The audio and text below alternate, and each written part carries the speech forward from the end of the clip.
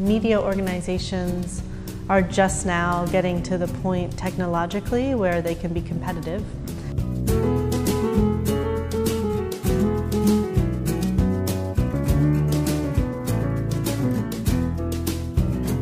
You want it to grow, right? Um, but you don't want to just chase page views.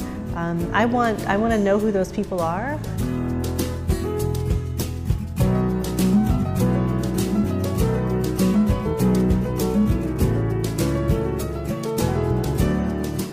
Uh, there's a direct correlation between social traffic and our mobile growth.